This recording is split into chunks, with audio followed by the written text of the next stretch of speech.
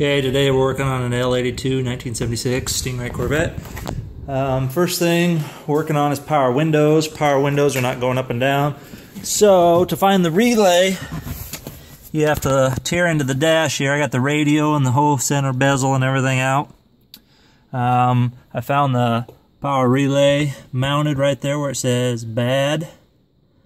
And there is a bolt that holds it down. That's the ground. Get it out here so you can see it. This grounds the case. And then there's two plugs. Two wires go to one set. One wire goes by itself.